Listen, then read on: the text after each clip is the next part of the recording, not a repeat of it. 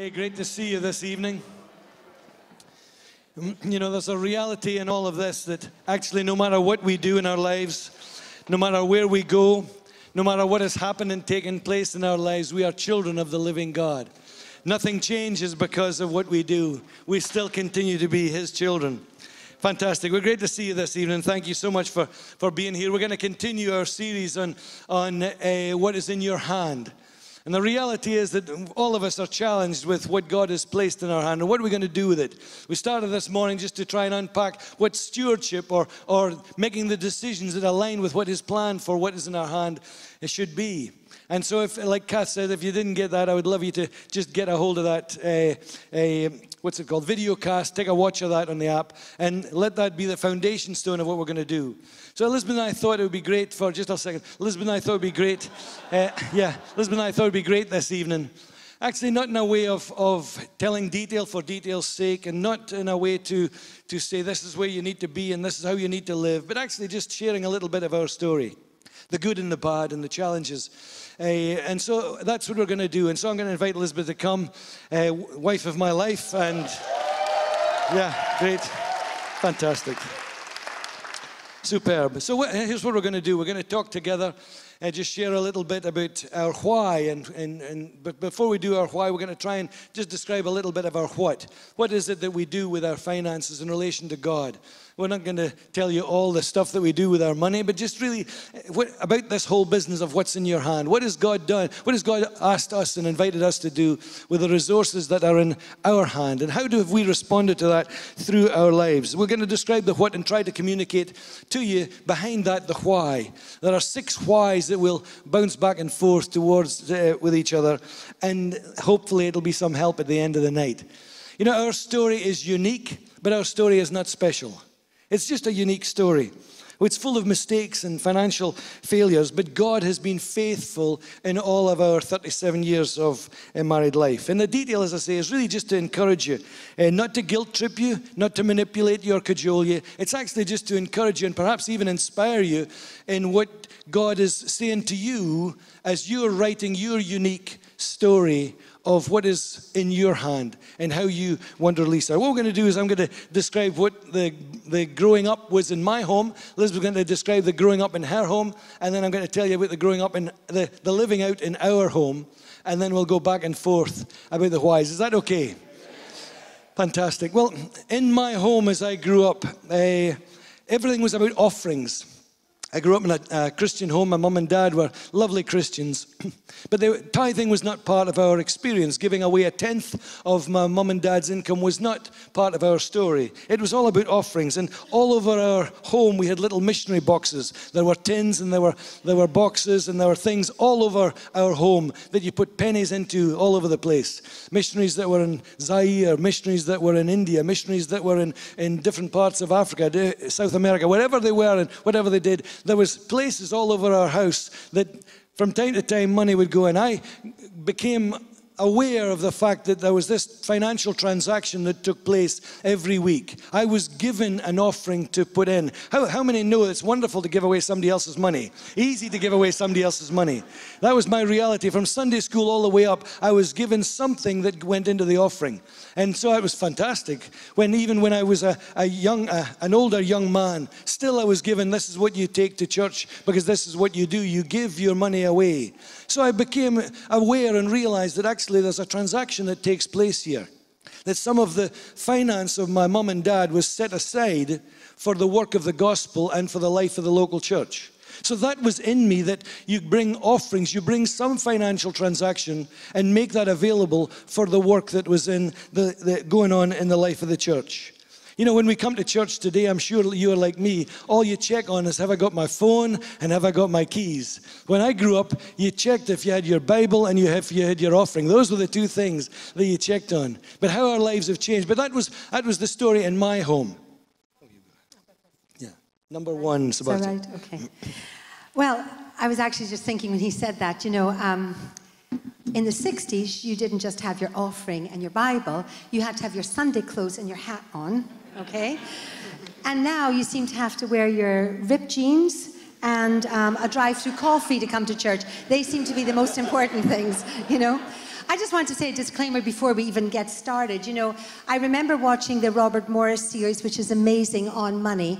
And I remember hearing one or two people saying, oh, he was bragging. And I just want to say a disclaimer at the beginning this is almost uncomfortable for us to talk about money.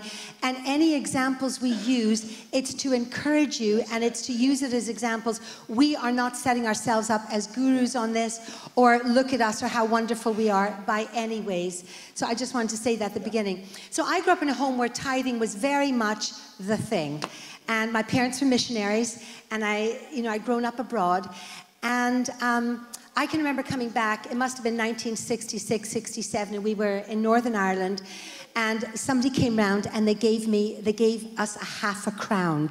Now, that's, I'm dating myself, you know, I had to even look up what a half a crown was. It's an eighth of a pound, I worked out which is two shillings and sixpence. And so I got this half a crown, this, and I remember thinking, this is just amazing, you know?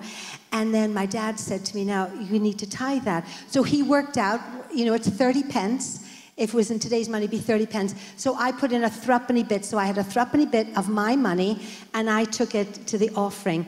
And my dad told me the lesson about, you know, now you give to God, you can never outgive God, He will give you back. And I was like, okay, Dad, you know. The next week, another missionary came and they gave me a whole crown, which was five shillings. You see, I have learned all my life that you can never, ever outgive yes. God.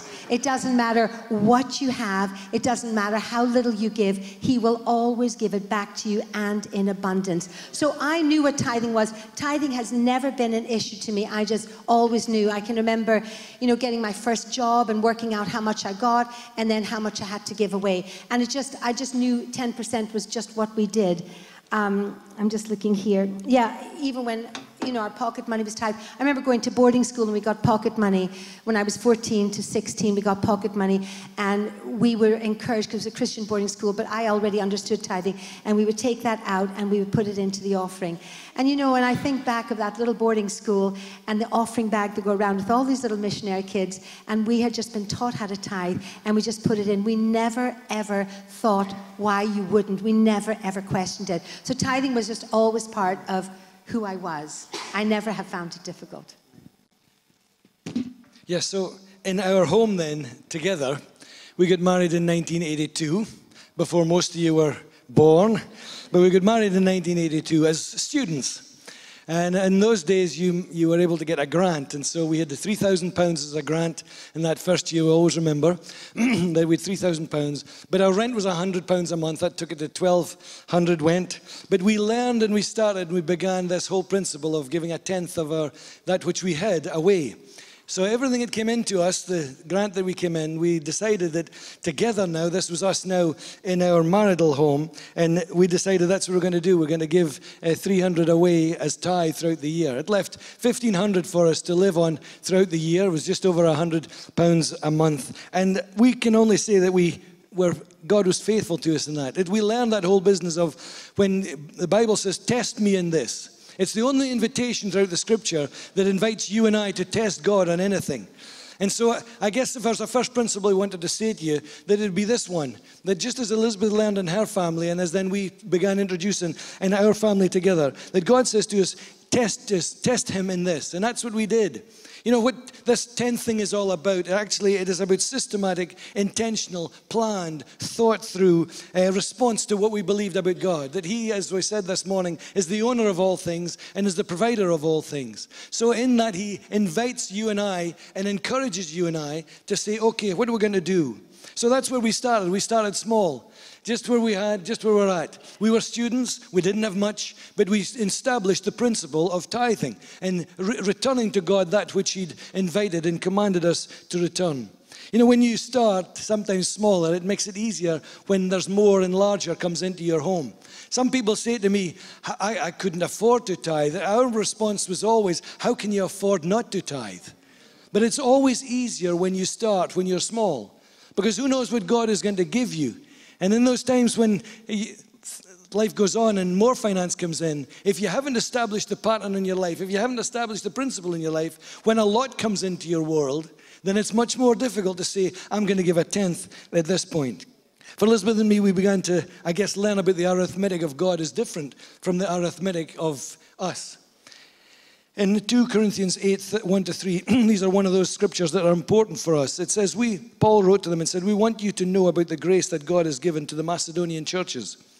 In the midst of very severe trial, their overflowing joy and their extreme poverty welled up in rich generosity.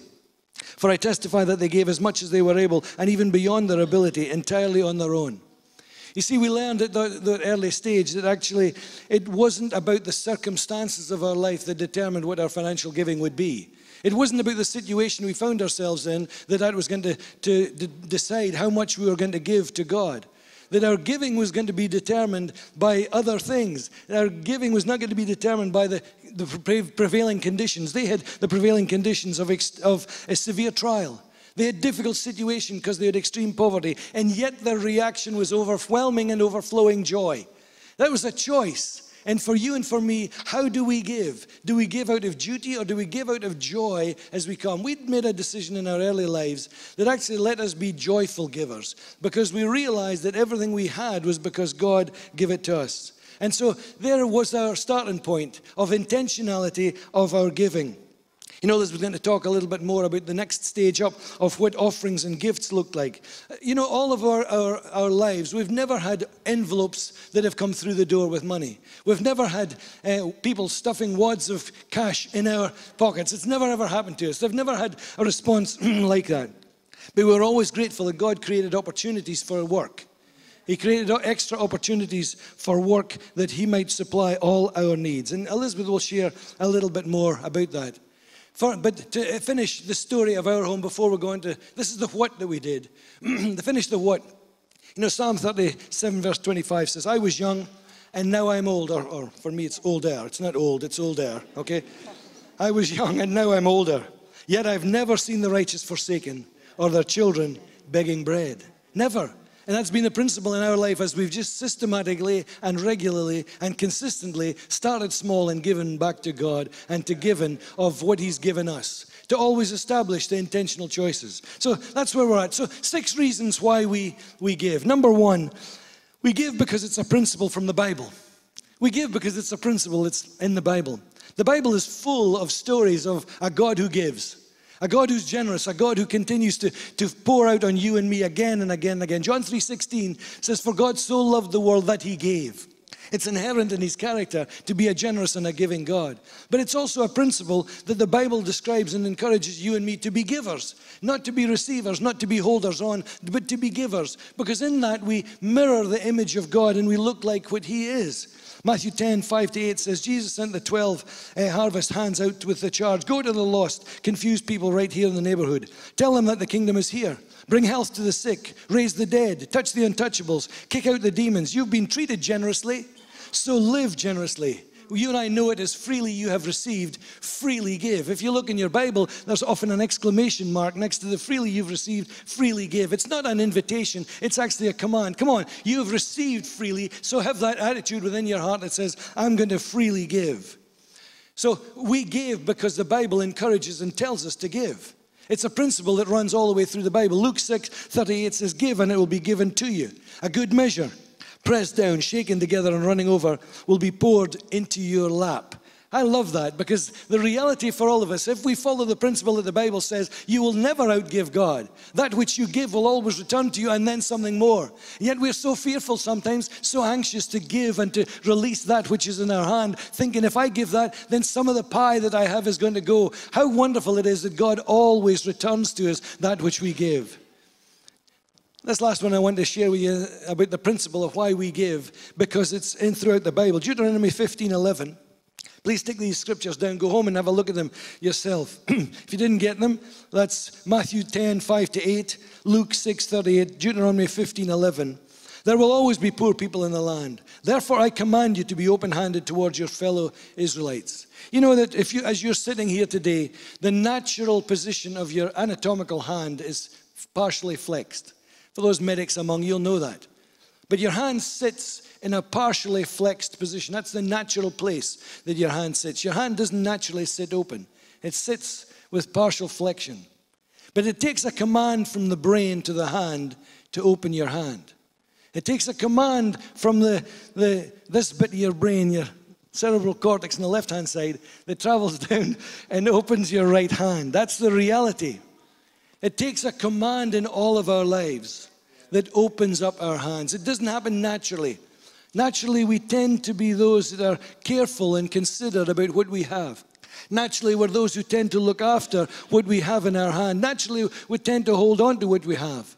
But can I encourage you? It's principle number one why we give, because the Bible says that you and I should give, that we should be those who have an open hand, have be unflex our hand. the Bible is, God is not really after your wallet, He's after your heart. And as we obey that principle, it gives us a soft heart and an open hand. So, principle number one, we give because it's a principle that's, that's running through the life of the Bible. Okay, you've taken 10 minutes. I'm It was supposed to be five. sorry, guys, you're in for run It'll be tonight. right on time, No, too much won't. time. Right on time, too much time. Right. The second one, prioritizing our money. In Matthew 6, 19 to 21, it says, Don't keep hoarding for yourselves earthly treasure that can be stolen by thieves.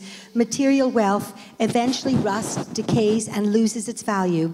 Instead, stockpile heavenly treasure for yourselves that cannot be stolen and will never rust, decay, or lose their value. And this is a great verse. For your heart will always pursue what your value, how you value your treasure. Your heart will always pursue what you value as your treasure. Now, you know, we all have passports. We all have, we all are um, passports, have passports for different countries. But you know, when we're a Christian, we become a citizen of heaven. And it spoke in that verse about, you know, stockpiling your heavenly treasure. In 1962, when my mom and dad were going out to the mission field, they sent, they packed trucks they packed big trunks, they were called, of clothes for the next five years and sent them on to a country we were about to live in for five years.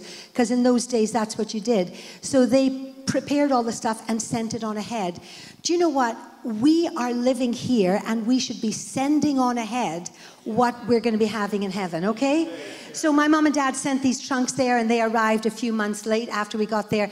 And you know, every every season there was a next set of clothes that my mom would take out for us to wear.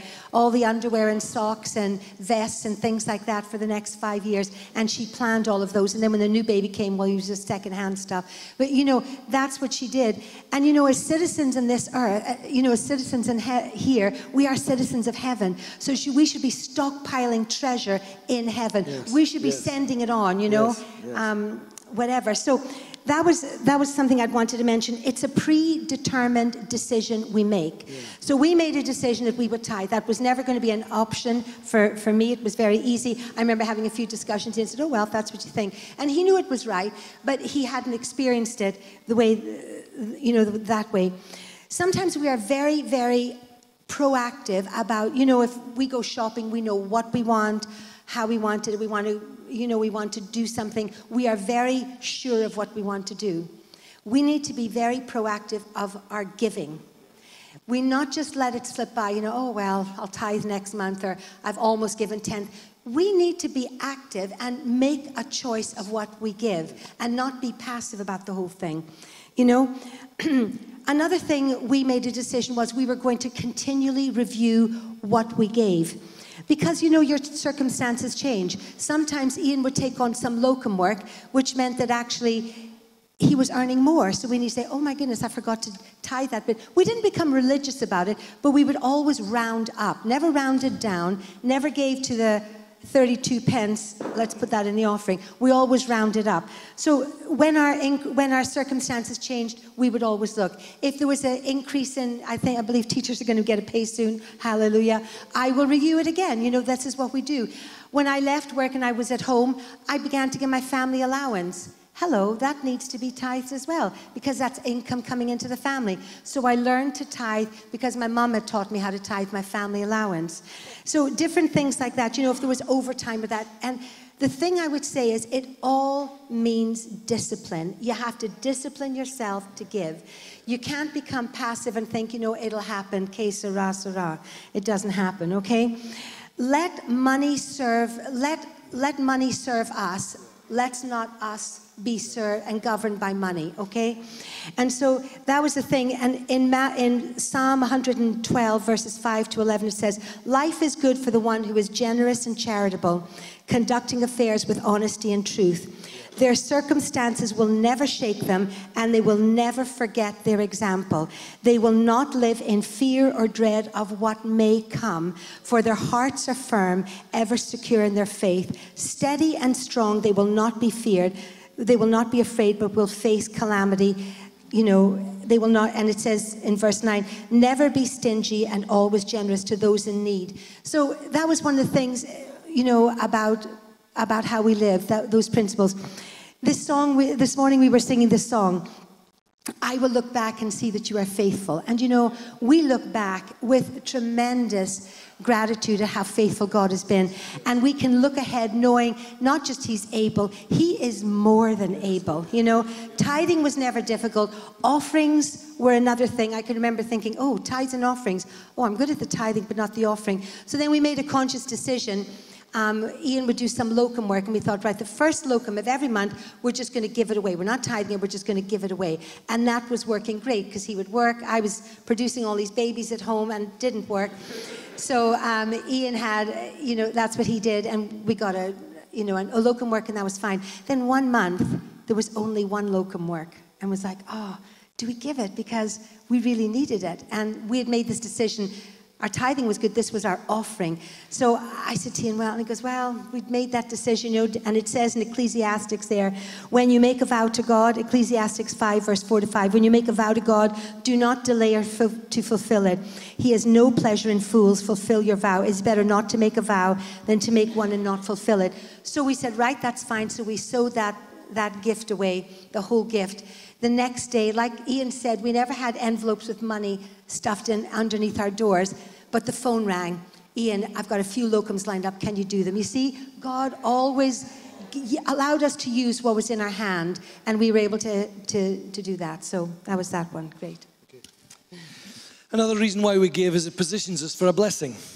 I don't know how many of you love when a blessing comes your way when something nice happens to you, somebody says some good things to you, or things happen in your life that are unexpected and they come your way.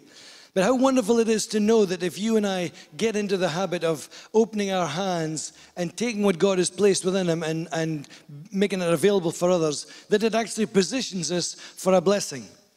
You know, the, the I think as we look back in our lives, we see our lives as being incredibly blessed. You know, I've got one amazing wife. She's, I hope, got one amazing husband. Uh, we've been 37 years married this year, been 41 years together. We've got five wonderful children who have married five amazing spouses. They've produced seven kids. They're now in three different continents around the world. All are working and all are serving Jesus in the life of the local church. It's amazing blessing that has come to the Duthie family. And it's real, the reality is, it's not because of what we've done, it's because of His grace and His kindness. But I guess would we look back and think, I wonder if the positioning for blessing that God promises is because of what we've done. The blessing that has come to our home is because of what we have done in terms of the faithfulness of our giving. We're not saying that one equals the other, and as Elizabeth said quite rightly at the beginning, that's not the, the tenor of what we want to say uh, this evening. But there's a truth that 2 Corinthians 9 6, remember this, that whoever sows sparing will also reap sparingly. If you sow, I said it this morning, if you sow generously, you will reap generously. Proverbs 11 25 says, A general, generous person will prosper. Whoever refreshes others will always be refreshed. What a wonderful promise that is. To know that if you go around refreshing others and giving and being generous to others, something is always going to come back to you. It's, a, it's an eternal principle that God has designed, that as we give, we are always going to receive. That giving actually positions you for a blessing. Psalm 112, 5, Elizabeth just quoted it. Says, Good comes to those who lend money generously, conduct their business affairs, and uh, don't chase after wealth. How amazing that is that good actually will come to you. You don't have to go chasing good. You don't have to go chasing abundance. You don't have to go chasing blessing. Blessing will come to you if you open up your hand and give what God has placed within your hand. So it's always been a, a, a reason for us to give is that we position ourselves for a blessing. Malachi 3.10, you know it, says, Bring the whole tithe into the storehouse, so that there may be food in my house. And test me now in this, says the Lord, if I will not open for you the windows of heaven and pour out for you a blessing that you, until it overflows. I will rebuke the devour, devourer for you. What two great truths there that actually what God is saying is test him in this whole business of giving. Test him in this whole issue of generosity. Test him in this openness of your hand. Because as you do, will he not open heaven's window? What is a window? A window is a conduit through which things travel. It's we've got window light coming through here, we've got sunshine coming through here. A window is one of those things in our lives that brings one from one environment to another. And God says that if we give, then we know that there's going to be blessing. We'll be leaving his, as it were, his side of the, the bargain and traveling through into your life and my life. That's always been a wonderful promise and a wonderful encouragement for us to give. That giving actually positions us for God's blessing. Several years ago, we had an amazing privilege to be at a garden party that the Queen puts on at Holyrood. And the two of us were all dressed in our finery. We're all in the suits. And the, well, I was in a suit and she was in, in something fine too. And we went down there for the cucumber sandwiches and the whole thing. But we started saying to the folks, where does the Queen come? And where does her and Philip come out of the Uh, Holyrood Palace. And where do they go? And the guy said, Oh, they come down that stairs and round there. So the two of us thought we would go early and we snuck up and stood right at the front of the queue. Uh, nobody was there as the two lines were there, but we positioned ourselves so that Queen Elizabeth would come round and we'd get an opportunity for the hello, mom, and she would give us a blessing of just passing by. We'd positioned ourselves for that.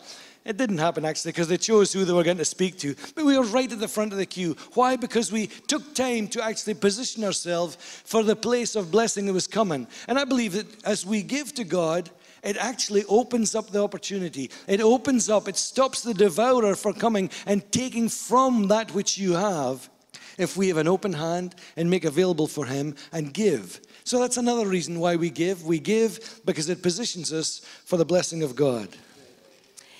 Um, the message version of Deuteronomy 15, verse 10 says, Give freely and spontaneously, don't have a stingy heart.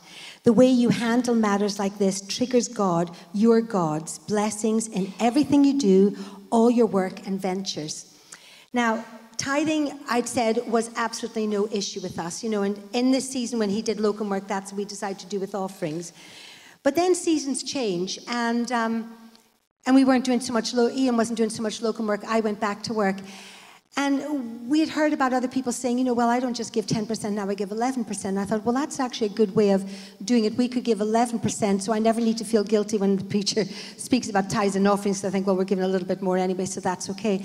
So we did that gradually. So one year we started giving 11%, and then you don't notice it when it's gradual. The next year was 12%, and then a couple years later it was 13%. And I'm not going to say now what percent it's it is because that's between us and God. But, you know, we have just increased and increased to see what God has done. The other thing I think with tithing and offerings is, you know, that seed that we have that Iain was talking today. And so we, we have never looked at the seed that we sow into other ministries as part of our tithe. That's separate. We've always, we've, we've given our, of our tithe, whatever percentage that is, and then we have this offerings bit. And in those offerings, the offerings we give, and I, am not saying this in all, I, um, as a disclaimer, I don't want to say it as a brag, but this is what, this is how we would do it, you know. We give to the Bible Society. We've got three compassion children, our Toto child, Care for the Family, TBN, Hope for Justice, Barry Woodward's ministry, we believe in that, and a couple other things. So that would be our seed. So that actually isn't to do with the local church. We just have believed in these ministries, you know. And for the last, I think it was 30 years, you know, because we've got Rob Parsons coming later on this year, and I was, I was thinking, we have sowed into his ministry for 30 years. We never knew he would actually come to our church. We're excited, you know, that he's coming. He has no idea we're sowed into his ministry, but we have faithfully sowed into that just thinking, well, and I don't want to find out, I don't need them to say, hey, wonderful. We're just a number that money pops in. But you know what? Heaven, we're there for eternity, right? So heaven is going to be an amazing time. We're going to go around heaven going, oh, is that what my seed did? Is that what happened to that person? Because our seed goes out there. And I trust the places that we give our seed to, that they're going to do something with it. They don't, ha- they don't have to tell us anything. So that's how we do it. We've got our tithe that we've worked out. And our, because we did a little bit more, it's our offerings, and then our seed is out with that. Um, then out with that would be the, we always have an annual offering for missionaries. That doesn't come out of our tithe, it doesn't come out of our seed, it just comes out as an offering. So that's something we've always decided that's something that needs to be given. Growing up in the mission field, I have a real heart for that. So whether, so every year we've just always given a gift that's just a gift. Um, you know, and it says when we align our hearts, it triggers God's blessing. It says, Proverbs 21:13, if you stop your ears to the cries of the poor, your cries will go unheard and unanswered. If we, let's think about it, if we stop, it says, if you, and it says in the Passion Version, if you close your heart to the cries of the poor, so if we close our hearts to the cries of the poor, then the Lord says, I will close my ears when you cry out to me. I don't want to be in that situation. I want to be able to cry to Him, and He hears me. So let's always remember it says you will always have the poor with you. As different personal illustrations, you know, and I'm saying this here again just as some illustrations. When my dad came here in 1993, he had no salary. We were part of a different church. And so he started doing locum work to sustain him. And I knew it wasn't enough because you know, so my sister and I got together and said, you know what, we're going to withdraw some of the tithe from our church and we're going to tithe and help dad out with his salary. And that's what we did. It was very humbling for my father to then have to get some tithe money from his two daughters to help him, but actually he needed it and they wouldn't have managed without it. We had no idea we were sowing into the future of what would be our journey. Quite amazing, isn't it? You sow into something, never knowing it's coming back. Many times we always had a, you know, a heart to sow into other people in ministry, never thinking that we would actually be part of ministry someday. Two or three examples popped into my head. Um, a few years ago, there was a there was a lovely man called Dennis here that used to attend church, and um, I remember one day saying to him, you know, I just feel we should give Dennis money. We popped, it was hundred pounds in an envelope, and I just came and I said, Dad, just just give it to Dennis. Don't let him know it's from. And unknown, we never knew what happened. We would do that many times and never know what happened to it. But on a couple occasions, you know, you do get the stories back. Heaven's going to be a great revealer for that. And I can remember he stood up before he left, you know, he was there and he did his course and everything. Before he left, he says, I need to give testimony. One day I was coming, it was winter and I only had enough money for a bus fare to get to church. I didn't even have the return fare to church. But I prayed and said, Lord, if you get me to church, will you get me home again? He said, I wanted to be here. He said, and I came into this door. He says, and I had a great service. And as I was leaving the door, Pastor John just slipped me an envelope. And we never said it was us. But I remember hearing that testimony and thinking, how amazing that we were responsive that day to do that. I can remember there was another pastor down in, in um, there was training down in Edinburgh, wasn't it? And we had this urge, I don't know why, we sent him 65 pounds. it seems a really weird figure, but we, we wrote this check and said, I think we sent this off, we sent it to him. Unknown to us, this man years later told us oh, a few months ago, he phoned and he was in tears and he had been a young trainee pastor. And when the offering had been taken at the end of the day, it had gone into this into a, a, cupboard or something. But when the pastor went to collect it, 65 pounds was missing. And he pulled this young trainee man aside and he said, "You have stolen the money." And he was heartbroken because it wasn't his, and he didn't know how he was going to get it. And the next day, a letter came from us with a check for 65 pounds. I mean, stories like that. You know, I don't know any other stories but I know there will be stories to find out in heaven of what happened. And so I just wanted to share we can never, ever, ever outgive God. And that's why I just want to share those few things with you. Two to go. Is that okay? You still with us? Okay, we give because it's a principle from the Bible. We give because it prioritizes our money where it goes. We give because it positions for us, us for a blessing. We give because it puts our heart in alignment with God. Elizabeth and I have always give because it partners with a bigger vision and also the vision of this local church. That's one of the reasons why we give. We give because God's got a bigger plan than what we're part of, but also we give because of the plan that God has through this local church. You know, Proverbs 11:24 says that the world of the generous gets larger and larger, but the world of the stingy gets smaller and smaller. You know, as we look back over 40 years just serving Jesus, just from small town of Fraserburgh and seeing what, how God has enlarged our world. What amazing people we've met. Amazing people that are in this church from all over the world. Amazing experiences that God has allowed us to, to, to encounter all over the world. We look back and think, God, you've been so kind and so gracious. And it is true that our world has increased so much. And we don't say that A equals B again, but again, it's, the, it's in behind the, the, the reality of what happens when you give, that your world just increases and increases and increases. But I think the, the, the truth for us is, is that we can't go everywhere, but our finance can go some places that we can't go. That the seeds that we sow here go all over the world.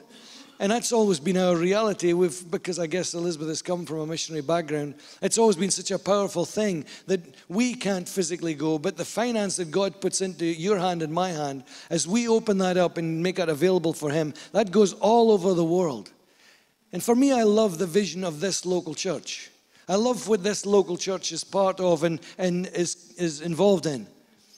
For us to be a church that equips and encourages men and women and boys and girls to reach up and become more like God, to reach out to the community that is around, and to reach into the destiny that is theirs. You know what? I buy into that. I love that. I love the fact that that is changing lives and changing families, changing cities, and who knows, maybe changing nations. I love that. I love that the whole world comes here, sits for a little while, gets its PhD, and does whatever it's doing, and then goes back somewhere, carrying a little bit of the life of this local church. How amazing that's going to be, just as Elizabeth says, what heaven is going to reveal of the warmth that you have expressed, of the kindness that you have, have experienced, of the, the goodness that you have been to others as they've come into this, this local church we're part of. You know, even if I wasn't the pastor, or I wasn't for a long time, we still believed in the vision of this local church, and that's the reason we give. We give to what God is doing in and through this local church.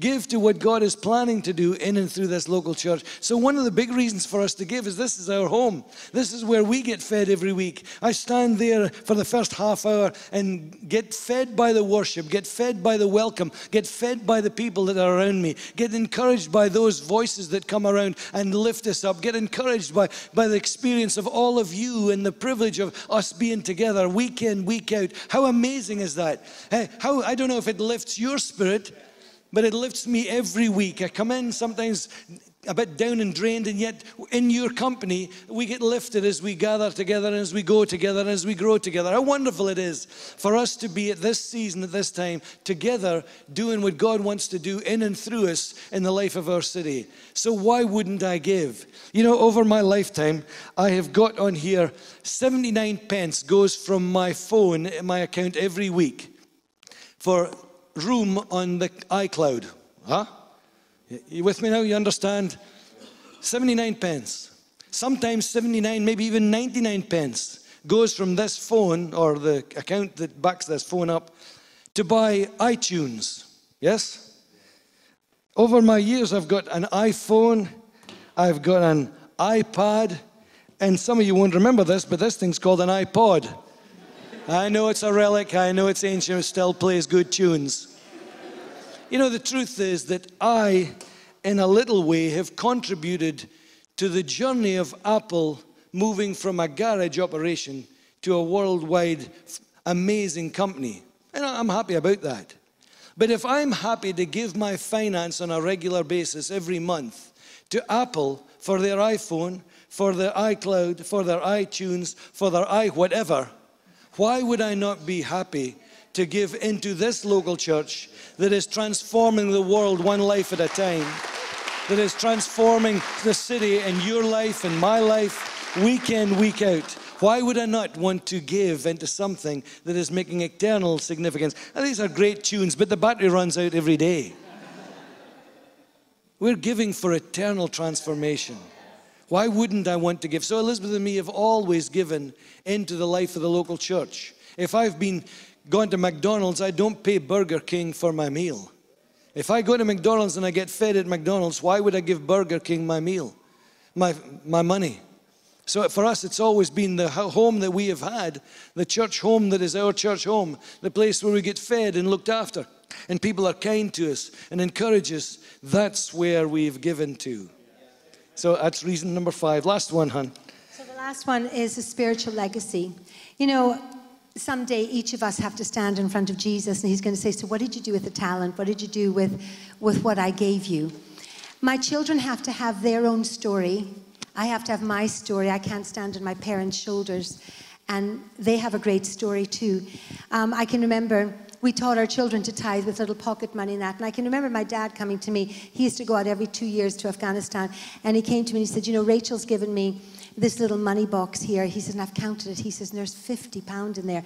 Now, we did not give big pocket money, which I don't know, she probably stole from us. I'm not sure. No, I don't think she did. but she would get she would get coins and anything found, she found and she would give it and she would save it up over a year and then she handed this little little jar over to my dad and said and said, Don't tell anybody, grand, granddad, that's just for some missionary there. And you know, she learned at a young age because we would talk about it at home. It says in Deuteronomy, talk to your children, talk at home, tell them these things, teach them, you know. And I was taught, I was taught well by my parents. And I just had wanted to close with a couple of stories that I had. Um, my dad passed away nine years ago. And um, there was he passed away nine years ago, and I can remember just before he passed away, he had kind of, I think, you know, he was dying of cancer, and he he was praying that God would heal him, but I think inside he knew that maybe it wasn't going to happen. And he kind of looked at all of his bank accounts, and there wasn't a huge amount of money, but he made sure that my mum was going to be well looked after. And um, he looked at it all, and it was almost like, you know, well, I've sent luggage on ahead to heaven all my life.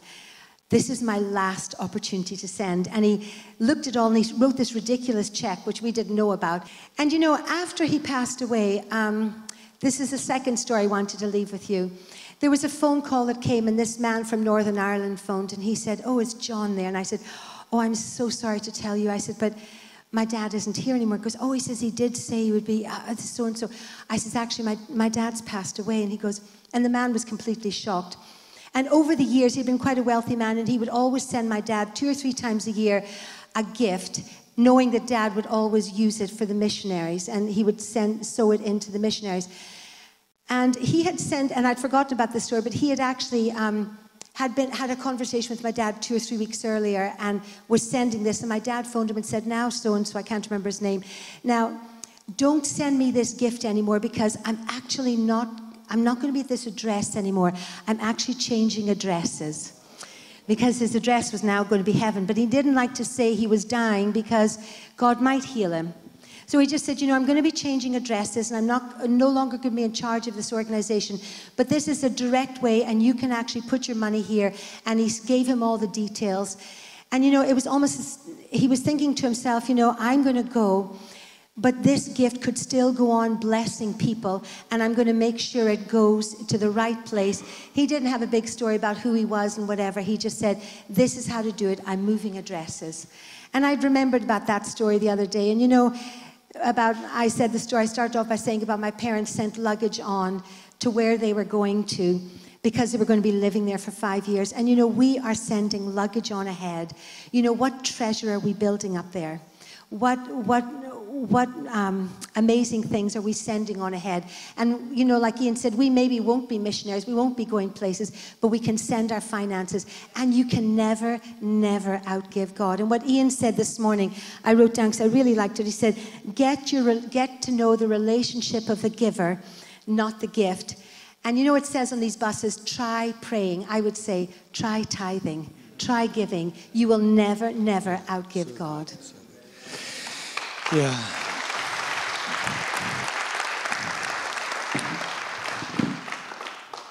Hey, that's just our story. It's a unique story. It's not a special story. It's just our story. But we thought it would be really good just to share our story, uh, be vulnerable with you, and let you know what our story is. But God is writing your story.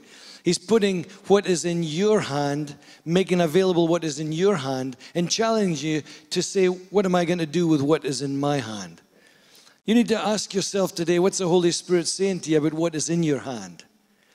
You need to let the Holy Spirit ask you today, what am I going to do with what is in my hand?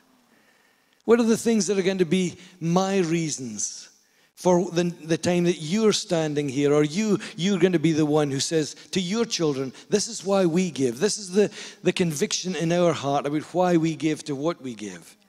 There's nothing, there's nothing special about our story. Our story is just our story. It's not better than anybody else's, it's not worse than anybody else's. It's just what God has done in our lives.